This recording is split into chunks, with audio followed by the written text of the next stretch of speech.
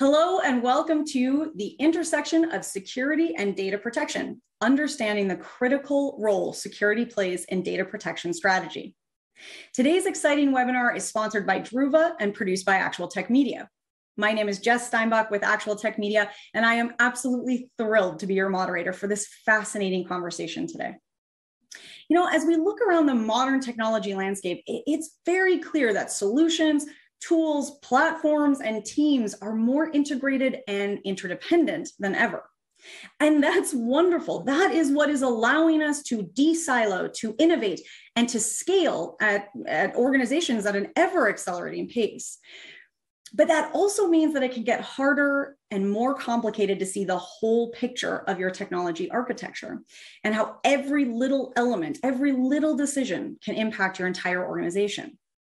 So today we're going to zoom in on one key aspect of that picture, data protection. Now, making the wrong decision about data protection could have serious impacts on your organization's security. So this is an important part of your security planning process. Luckily, today we are joined by not one, but two fascinating speakers to help guide us through this conversation. In just a few moments, I will introduce you to our expert speakers from Druva and from Actual Tech Media. But before we jump in, I'm just going to zip through a few important points about this webinar. Okay, first up, I want to draw your attention to that questions console. So if you haven't already said hello, drop a greeting to your friends here in the actual tech media community, say hi to the other folks out there, and make sure that you use that section to ask all of the technical questions that come up today.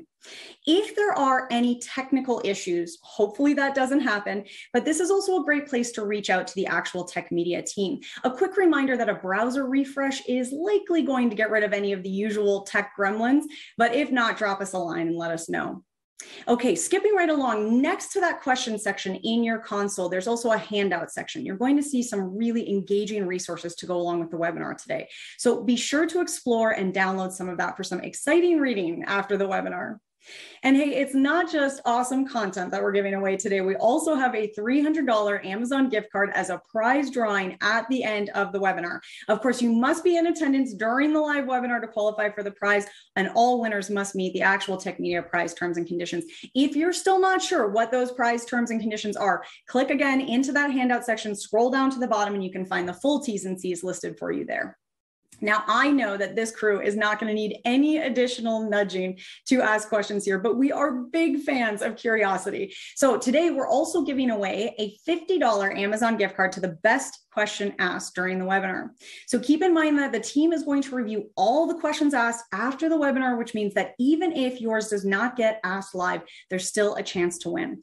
And as always, we will reach out via email to our lucky winner after the webinar. Okay, team, now I know that you are just as impatient to get started as I am, so let's dive right in. I am so excited to introduce you to the one and only Scott Lowe. He's the CEO, co-founder, partner, lead analyst. Really, there is nothing that Scott doesn't do here at Actual Tech Media. And he's going to be chatting with the absolutely fascinating Curtis Preston, Chief Technical Evangelist at Druva. Scott and Curtis, I know that you guys have a ton of exciting content to cover. So, Scott, I'm going to hand the mic on over to you. Thank you, Jess, for that warm and wonderful introduction. Um, as Jess mentioned, I'm happy to be here with Mr. Curtis Preston of Druva. Curtis, thank you for joining me for what I hope is a very lively discussion about data protection and backup and recovery and all the things in between. I, I will be as lively as you would like me to be awesome. Well, you're always lively. So, um, there's a lot of things we want to talk about in the next little while here. I mean, backup and recovery is um, important, um, and it's evolved over the years. You know, we look at what I mean when we were backing up when you first started your career, it was a very different tool than we're using now. Um, but along with that comes some need to make sure we evolve these from a security perspective as well. And we see, you know, backups used to be sort of that last bastion of of protection for a lot of organizations, but they're actually at risk now too. So when we think about modern backups, how do you see them being at more risk than they've ever been before? And what kind of things do we need to consider when we want to start protecting the backup tools and our backups that we have in our environments? Yeah, so I I started backups. I mean, I feel really old when I say this, but like I'm coming up on my 30th anniversary of my first uh, commercial backup, And back in the day, no one like, like we were worried about the backups certainly from a DR perspective. We had to separate them from the the thing that would might also do damage to our data center. I don't remember ever discussing the the, the electronic security of backups. There, there's a few reasons for that. I'd say one of the biggest of which is that they were all on tape back in the day. That changed drastically in the last 10, 15 years. And we've gone to disk as our primary protection mechanism, pr- protection mechanism. And the problem with that is that when it's sitting there on disk, to borrow a a, um, a slogan from a, a company that's not around anymore, but they used to use the phrase, if it's on disk, it's at risk. And that, you know, they were pushing other ideas, but the that that's the concern is that the that the backups are sitting there on a disk behind a server that is hackable and if that server is accessed uh, inappropriately either accidentally by a well-meaning person or maliciously either because it's a ransomware attack or a rogue admin or um, maybe it's not necessarily a ransomware attack but it's someone who's just gained um, uh, privileges that they're not supposed to have access to. And all the data is just sitting there ready to be attacked and uh, either encrypted or deleted. And you know that's just simply a risk that we didn't have even but and, and if we look at ransomware the idea of the, the, the ransomware groups like Conti, which sadly is the biggest of the groups, but that they're directly targeting backups right? The, the, the backups not only, you know, it, it, has moved from being, well, it's it still is the last line of defense, but it's also the first line of attack. So it's just the backup environments are at a much greater risk from an electronic uh, security perspective than they ever were. Yeah, as I look at it, essentially back in the day, um, I'm not quite the 30 years, but I'm not far behind you. Um, you know, basically they were auto air gapped, right? When we thought when we talk about tapes. Now we traded in a way, you know, our RTO capability for having all of that security. We would take tapes to you know places like Iron Mountain of all places, things like that. So recovery was much more difficult. Obviously, we've gained a lot of capability around improving RTO, um, but it's come at a cost of putting our backups more at risk. And I mean, what are some of the things you see? I mean, without naming names, but what are some of the things you see in some backup products that you go, yeah, that is just not going to work? I'd say the biggest risk, um, you know, I, I'm, I mean, I'll admit it. I grew up being a Unix guy. I currently use, uh, uh, you know, I'm currently sitting on a Mac, right? I, you know, I'm I'm more Unixy than than Windowsy, if, if I can use those words. But you know, I'm not anti-Windows, but it's just stating a fact by saying that the number one target of ransomware in the data center is the Windows platform. Mainly, I think for a number of reasons. One of them being that it's where uh, you can get an initial infection out at a at a, a, laptop that's out somewhere. Somebody downloads something on there, you know, they clicked on something and that laptop gets infected and then it gets connected to the VPN or brought into the network and it can then infect other servers. And that's how that initial infection happens. The um, my biggest concern are backup servers that are of the same platform that is the primary attack platform, right? Because it it it hits a laptop, it spreads to a server, and then it spreads to the Windows server. And again, we know that um, that like the Conti ransomware group, and I assume others are directly targeting. They specifically go out and look for those backup servers, and they they actually sniff the network to find uh, certain protocols. And they're like, okay, they have this product. This is what our attack method is going to be and then right right in that server is a directory called c colon backslash backups right right that's just not good and then it's copied to a you know it, it, it might be and and by the way i, I want i want to say because you know i'm i'm a i'm a upfront kind of guy. These products, they generally do have additional things that you can do to address these issues. My concern is when I talk to the the general customer base of the, these other products, most customers aren't yet doing those things. And uh, whether it's making sure that it's replicated to an offsite, to a or to a um, you know an immutable copy in the cloud, whether it's using an immutable copy on prem, uh, it's just I, I think that the default installation, right? They're like, okay, uh, you know, because the, the problem one problem that's been the same since I've started is that no one wants to be the backup guy, right? And so you give it you give it to the new guy. That's how I got my first job in IT. Yeah. A long time ago.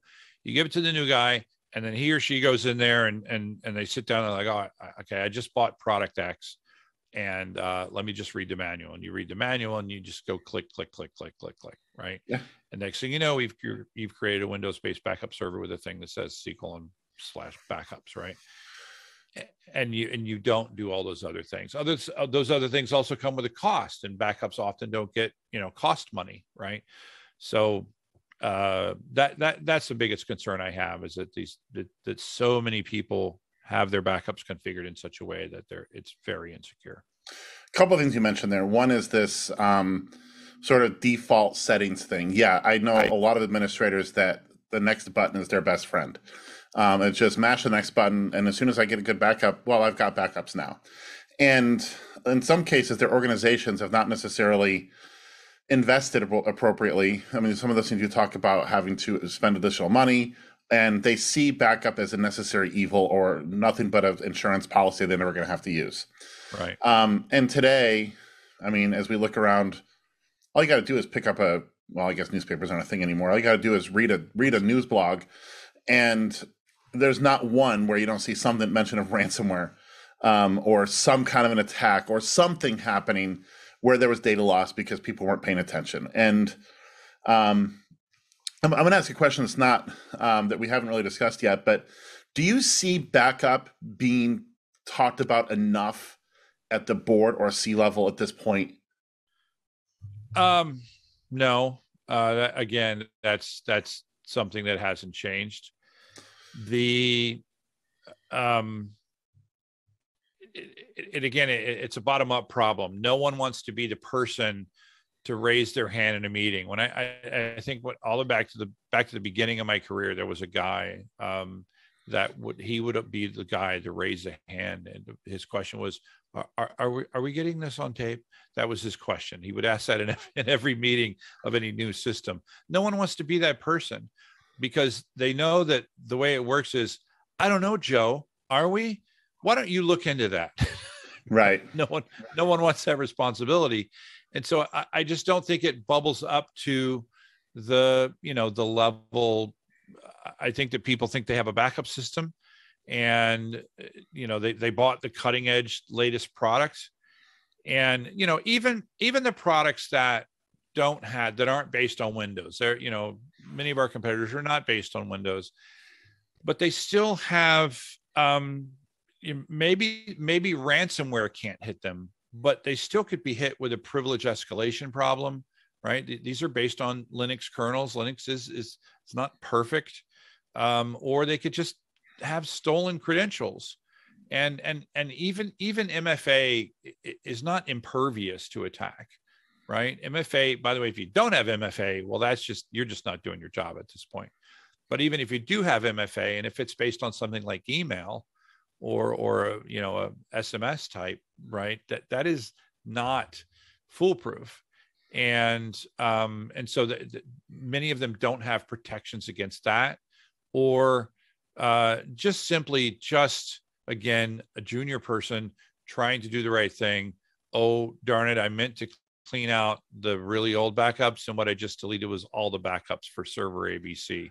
Crap. How do I? Yeah. And they're all sitting there on disk we just deleted them all how, how do how do i fix that right they don't all have solutions to that problem so that brings us to the next part of our discussion here which is really around the human aspect of all of this um, when it comes to having to activate a backup and recovery plan um, there are myriad ways that humans can be the trigger. Um, and it's not just admins, it's end users, admins, I mean, anybody. So what are some of the common ways you've seen humans wreck the place from a um, backup recovery perspective? Yeah, you know, you, you know the phrase "human beings," you know, ruining everything since forever. Uh, yeah. That that is that is more true in the data center than anywhere else. I, I would say when I started my career, the number one re- the number one reason I was doing restores was bad disk drives. That was I I grew up in a time mm-hmm. before RAID. And so we were installing production databases for a $35 billion company on a drive, not even a stripe drive. It was just a drive. I remember doing that. And, not for that big, but yeah. yeah. So, um, the, the, but but nowadays we have SSDs, right? You know, we have flash, which is way more reliable than a, a spinning disk drive, and we have RAID and similar technologies, um, and so that we're almost never restoring because of failed hardware. We are almost always restoring because someone messed up. Uh, or, or, or, there's been an attack, or God forbid, something like what happened with the OVH fire in uh, France back. I think that was, I don't know, first part of last year. And um, th- so human beings, they they they mean to do things, and they and they do other things. Like I think of the uh, the Microsoft 365 incident with uh, KPMG, where they meant to delete, they, they used a, a, a, retention policy. And what they meant to do was they, they had one user's private chat they wanted to delete. And instead, they deleted everyone in the company's private chats in Microsoft 365. I didn't hear about that one. Snap That's of a finger. Horrifically oh, unfortunate. 150, yeah, 150,000 users affected. Oh, wow and, and, and you know and it proved my point of like retention policies in 365 are not backup they're if anything a reason to do backup right so and, and imagine if it was if, if it was worse if they had wiped out all of the um, email or something like that right but the, the, the, there's things like that there are um, you know one of the concerns you have to be concerned about is things like privilege escalation uh, which is where someone gets in at a lower level and then they use um, uh, uh, what do you call them? Darn it, the, the, the word is escaping me, but uh, vulnerabilities to, to, to basically become a higher level of user than they're supposed to be. And many of those go around things like MFA, right? If you're able to do something like that successfully. People delete their own backups accidentally all the time, right? Where they where they mean to clean things up, but they they delete uh, you know they mean they meant to delete this server but they delete that server um, or they were they're just sort of updating the environment right? They're they're they're reconfiguring backup servers and they they meant they meant to delete this one which is the old one and they delete that one. I think i, think the worst case scenario the absolute worst case scenario i can think of was a um, microsoft i'm sorry a, a google uh, workspace customer was up in the Bay Area, and they they had their entire company on G Drive. They were a very cloud first company. So all of their IP was in G Drive. They didn't even do the sync thing, right? Where you can sync it down to your laptop. Oh. And um, then a well meaning sysadmin thought he was deleting a test account and he deleted their production Google Workspace account after which they you know they notify google right away and google's like uh we don't back up your stuff. It's not in your contract. They sued uh nothing happened but they they essentially deleted their com- they were startup and they deleted their company's entire intellectual property that was sitting up in google drive and poof gone right? It's just a well-meaning sysadmin did that and uh, they you know they ceased to exist, which is similar to what happened to CodeSpaces when CodeSpaces got hacked in AWS. Somebody got it, they got a privilege escalation attack. They got their or or they stole credentials, and the guy the hacker basically said, you know, give me a million bucks or whatever, and or I delete your company. And they tried to do some stuff to get the hacker out of the account. And he's like, okay, well, boom, bye. And he deleted their entire company. Um, and all their backups, you know, we're all in the same spot.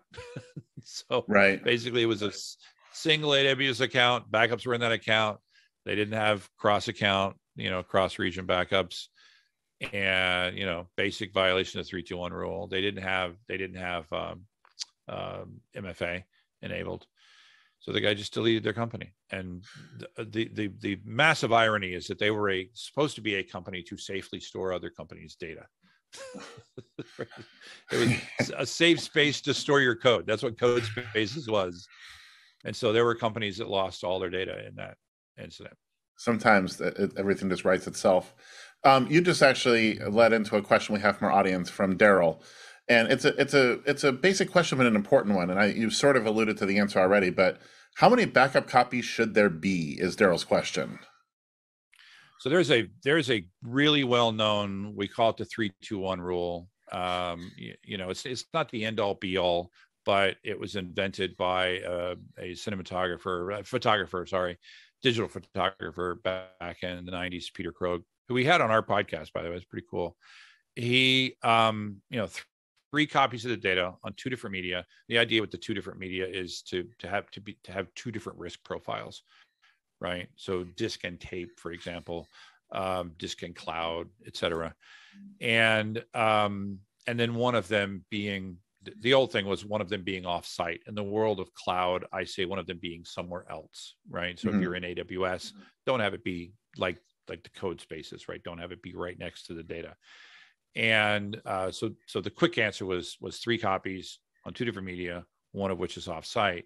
And this is why I go after things like Salesforce or 365 or G Suite, because while they might have features like uh, essentially a recycle bin or retention policies to store extra copies of your data, it's all inside the same tables that that vendor is using to provide your service. They're not they're not backups. They're just just uh, basically database records that are highlighted or not highlighted, right? And so th- those are not backups because you're not you're not following the two or the one. You you got the three, great, but not the two or the one. So to me, those are absolutely not backups. Yeah, that's sort of the equivalent of, you know, I did the backups and I stored the tapes right under the server um, yeah, you know, yeah. And I've seen, unfortunately, back in the day, I still saw lots of people do. You know, the, the tapes were sitting in the data center, so there's a fire. There was no backup. To your point. Yeah. You know. Yeah. That, well, I, what I've seen is people take a Mac and use the the the disk tool to partition their hard drive into two hard drives, and then use Time Machine to back up the one hard drive to the other hard drive. Okay. I, I I don't even know. I don't have words. I don't think that are sufficient to describe my thoughts on that yeah. in a way that's family friendly. Well, when you you know when you've been doing this as long as I have, you've seen a lot of weird stuff. Is all I'm saying. Yeah. Okay. I mean, that's wow. Okay. um. I mean, by the way, that's not any worse than thinking 365 is protecting your data. It, it's right. the same. You, it's their server, their data the, the word backups is not in your service contract. It's a right. recycle bin. That's it. Have you had user? I remember when I was managing exchange systems, uh, users we would clean out recycle. We got to a point where we started cleaning out recycle bins, and users got mad at us because that was where they were storing their stuff. Yes, yes, I've and yeah, um, yeah. I mean, that kind of stuff still happens, you know, which is unfortunate. Yeah. Okay, so the next topic of discussion is around common controls. And when we think about, you know, enterprise software, ERPs and the like, I mean, there are in anything really. I mean, even 365 or you know any kind of tools you'd find. I mean, there's RBAC, you know, role-based access control. There's all kinds of things. We haven't necessarily, in, historically, seen that in backup recovery. It's sort of like if you're the admin, you're the admin, you're the admin. Um, so, you know, they're often conspicuously lacking in backup. Why, why are they important?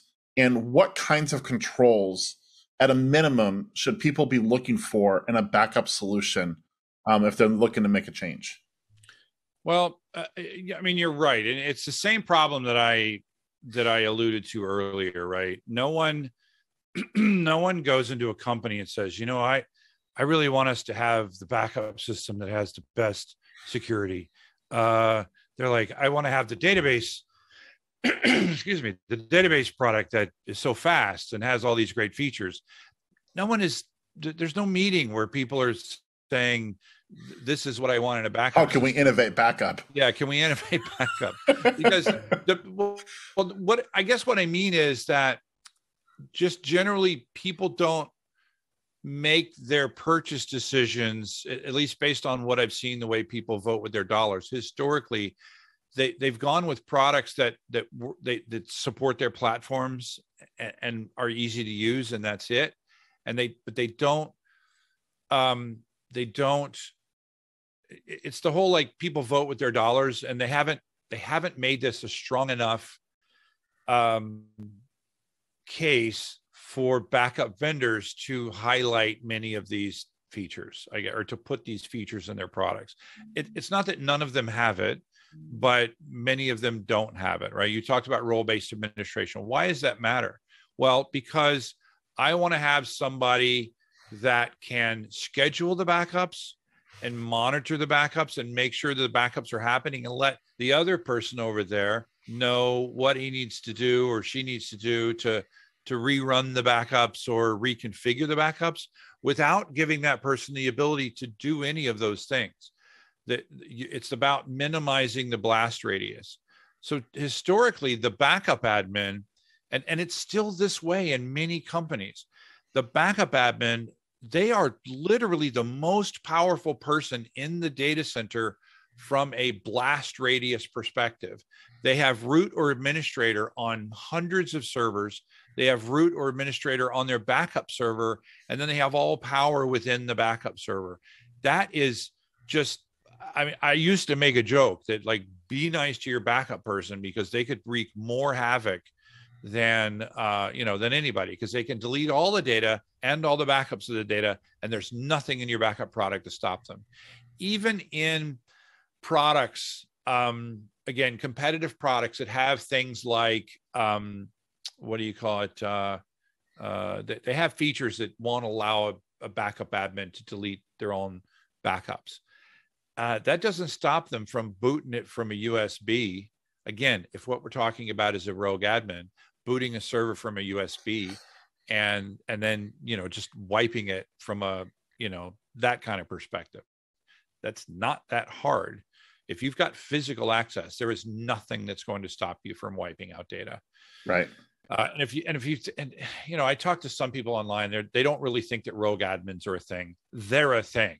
Yeah, they, happen Big all time. the time. There are famous ones, and there are there are not as famous ones uh, companies get embarrassed and they don't talk about them. You know, at Druva, we we have experienced them firsthand um, and uh, attempts to thwart things. But um, you know, the role-based administration that limits the blast radius.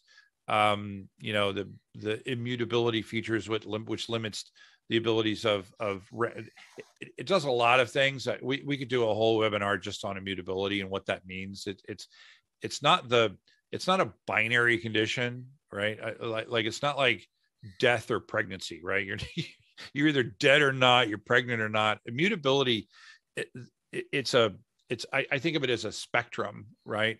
There are some things of like, yes, you're either changeable or not changeable by ransomware. But what about the 10 other ways that backups can be changed? Because deletion is also a change, right? Right. Um, how are you protecting against accidental deletion? How are you protecting against malicious deletion? How are you protecting against fire and bit rot and all of these other things, not just ransomware? What I've seen in the last couple of years is competitors focusing just on the fact that they protect against ransomware. But what about all these other problems that are still going on? Ransomware is hot and sexy and scary, so they focus all their all their you know. And Druva fo- talks a lot about ransomwares too, so we're guilty there too but there are all these other features and other ways that backups can be compromised that I don't think our competitors are focusing on enough. Um, this is a question came from Deborah. Um, it's not directly related, but I think it does have tangential relation to some of the things we're talking about. And and I'll start with the sort of the quick answer, and I want you to provide some more thought on this. But the question is, can a hacker of your phone system access your network? And the answer is absolutely yes. I mean, the, uh, the, by the fact that they've hacked your phone system, they have first of all accessed your network. So the answer is clearly yes. But we've seen, I mean, you know, the Target attack of a couple of years ago, the, it was like an HVAC system or something that they compromised, and then got to the POS systems across the entire company. So from a backup and recovery perspective, how does a question like that relate? It's a that's a fascinating question, and I have I think a, a really interesting answer, and that is, you know, depending on how that phone system is what it's based on, right? So is it a Windows system? Is it a Linux system? Could they then use that as a further attack point to get into your network? I would go, yeah, right. That, that's that's just like your answer. That is absolutely true.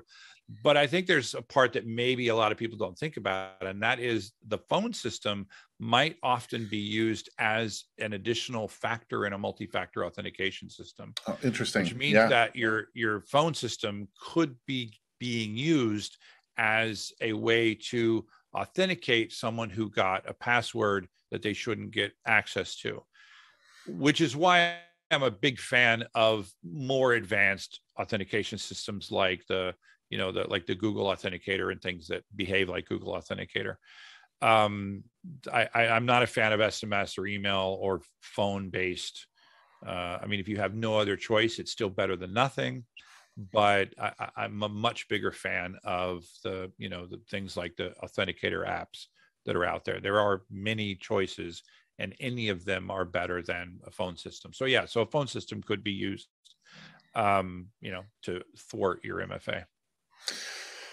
Next question I have is um, around, you know, it's not the, again, this is not something where you're going to go in and you're going to make big waves from an innovation perspective, but it's important, especially as we see increasing amounts of legislation around these things around the world. How can a proper backup and recovery environment ease chaos related to e-discovery compliance and general data governance needs, particularly some of those that are driven by legislation? Yeah, I, I think with that, there are when when when a company is subject or or you know governmental organization is subject to various regulations and they have to be able to prove that they either are or are not storing a certain type of data. And if they are storing that type of data like personal information they have to be able to access it. Um, historically we we had we really and i believe strongly in the difference between backup and archive but the uh, again that could be a whole could be a whole other webinar but generally archive focused on the compliant type stuff there are some compliance there are a lot of compliance things that a good backup system can do that can make sure that you're not storing sensitive data. I'll give you just one example. So for example you can say we don't allow uh, spreadsheets with social security numbers in them.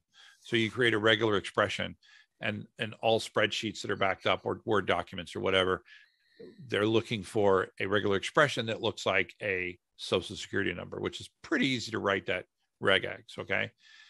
And then the backup product can look and notice and say, hey, Steve appears to appears to have a spreadsheet with SSNs in it. You might want to look at Steve. We stopped the backup. We're not going to back up that spreadsheet because that's what you told us to do. And then afterwards, you can actually find out, yeah, Steve's been doing this a while and we just found out right click, delete all of Steve's backups of spreadsheet of this spreadsheet from the backups, right? Uh, that's that's a perfect example of something you alluded to earlier of the, the, the power and sort of amazing stuff that you can do with a disk-based backup system if it's properly designed. Um, you know the way Druva stores every file is like deduplicated. Every everything we back up is sliced into little pieces, deduplicated and stored Eh, as opposed to many of our competitors that store stuff in big blobs like tar balls, that sort of stuff. It's really easy to go in and surgically delete a single file from backups when each of them, when each file is represented by hundreds of little objects stored in S3. It's very easy for us to do that.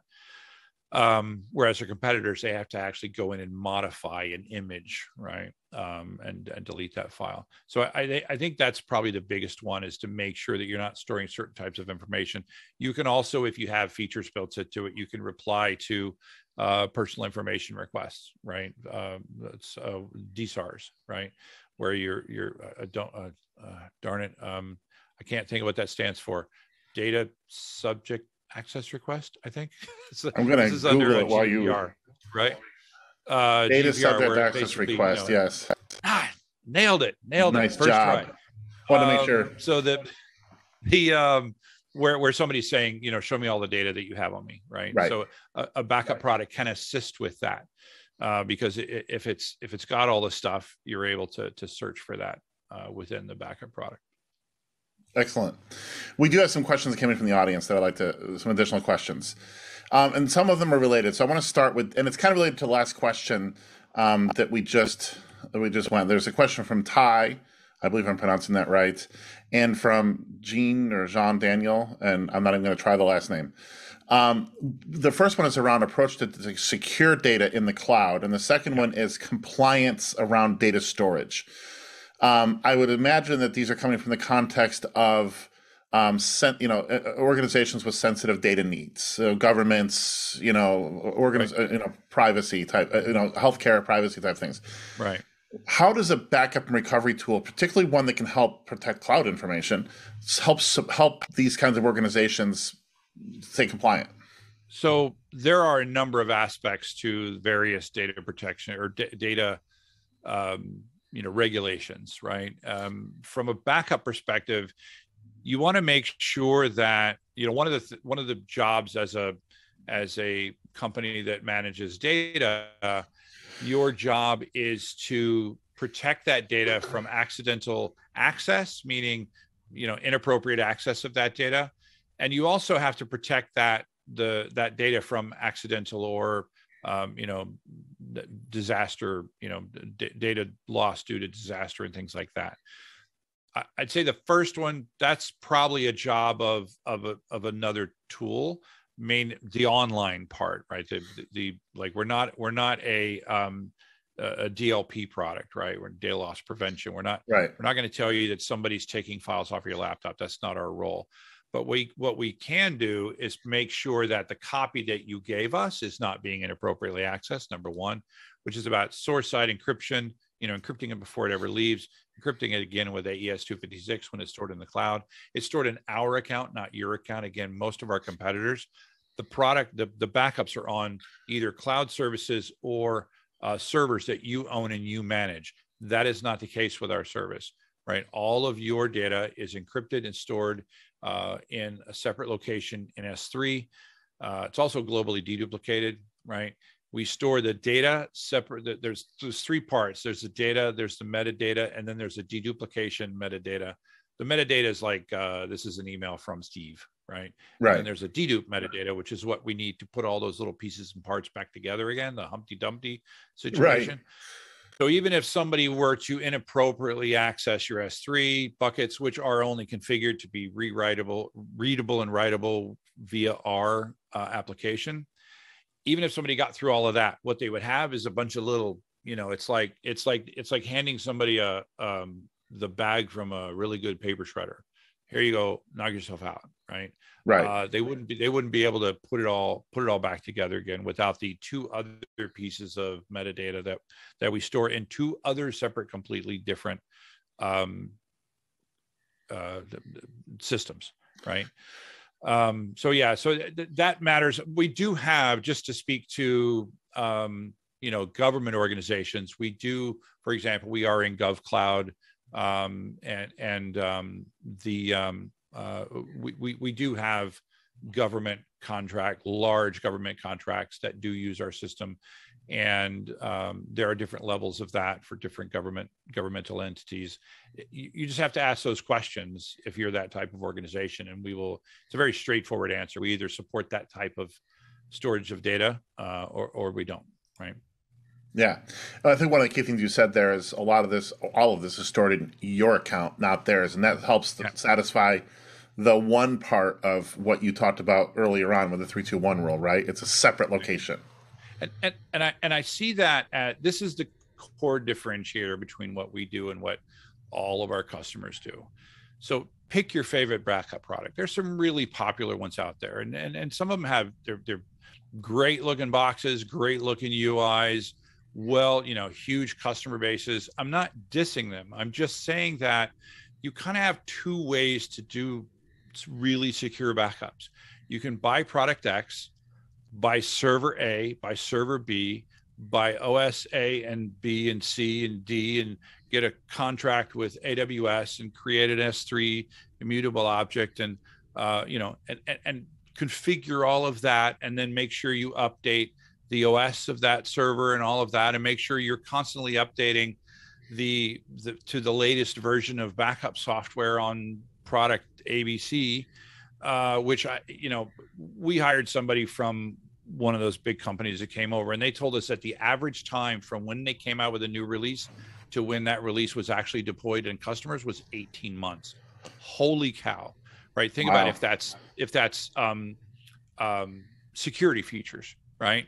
So you can you can do all of that. And i'm not saying that that's wrong. I'm just saying it's certainly complicated and fraught with risk and often being done by junior people who aren't fully trained in the matters of information security. Or you can buy a service that does all of that for you. Um, and so some people are like well why would i do why would i do uh, backups as a service? And my answer is if we can meet your recovery requirements uh, why in the world would you not do it that way? We can we can from a disaster recovery perspective, we support uh, 15 to 20 minute RTO of your entire environment with a one with a one hour RPO, um, with literally just a push of a button and you know poof, your entire environment comes up in AWS in your VPC in AWS.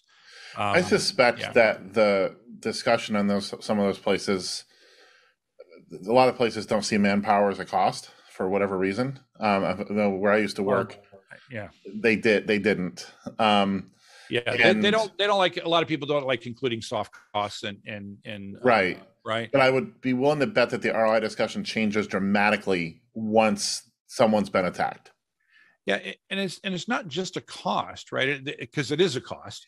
To, to me, it's it's a risk. It's a risk exactly discussion, right? You've got this this constantly revolving door of a new person managing your backup system that has to constantly be incredibly vigilant that they have the copy that is the number one attacks you know vector for uh, ransomware. And they have to be just incredibly vigilant. And the thing is they also have to be incredibly vigilant on their on the primary. And the thing is where do you think they're going to focus their attention? They're going to focus right. their attention on the primary side. Yeah or they could just use the service, right? Even if we were the same price, from a risk and reward standpoint, it just, it just seems like it's it's to me it seems like a no brainer. The only reason you wouldn't use us, from my perspective, is you know you've got hundred petabytes of data in a T1 line. That isn't going to work with us. Right? That's not going to work, right? We we can't violate the the fundamental laws of physics. I mean, we do do source side deduplication right? So, and, and we do source side global deduplication. We have customers, we have bigger dedupe databases than any company out there, right? I've worked with all the other big companies. They, they, they all have some number where their dedupe tops out. We have customers that are deduping 20 petabytes of data in one dedupe database because we have DynamoDB on the back end, which is infinitely scalable. That's where our where our hash tables go and and so we globally deduplicate all your data eliminating the data as much as possible then compress it then ship it up to the cloud only if it's new and unique. And by doing that we really lower the amount of bandwidth you have. But in the end there is some number that we can't go over right? That to me that would be the only and by the way we have answers for recovery not just backup but i was just saying if you can't get it there you can't bring it back right? And we have three different ways to get it back uh, a lot faster than you than you would think. And I'll just finish up with that to say, if you think we can't restore faster than your local Windows-based backup server, give us a shot. We right. we, we beat we beat you know those folks all the time in in uh, bake offs. speed wise. We have two more questions from the audience, and we have a few minutes left. So, the first one is sort of a, a modern take on what's happening in the world. Um, you know, how's the security market shaping up for hybrid work scenarios, and and in, in, in relation to how it impacts data protection? I mean, have you seen the the work from home trend have an impact on the data protection market? That's like a yeah. that's yeah. That's a so our our many of uh, many companies were forced to suddenly give people laptops and to allow them to start using those laptops to store data.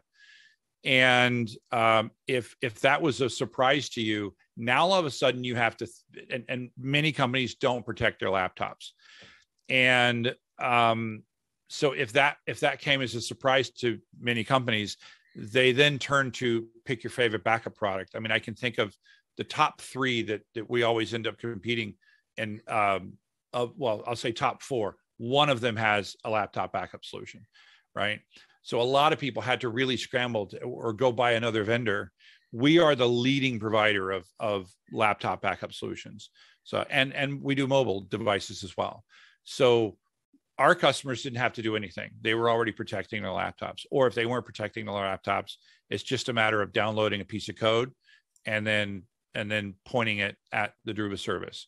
Uh, you know, it's and it's something that can be automated and rolled out, and then magically you, you just say, look, back up all documents or spreadsheets or whatever it is you want to back up on all laptops, and the back end just automatically comes to life, automatically scales to meet your needs.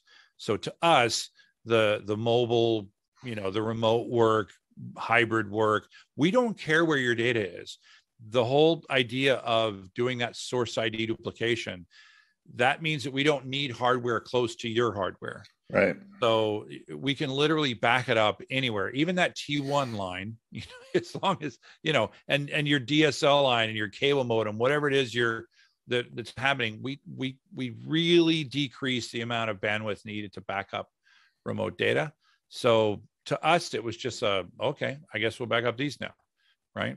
Yeah, easy, easy peasy.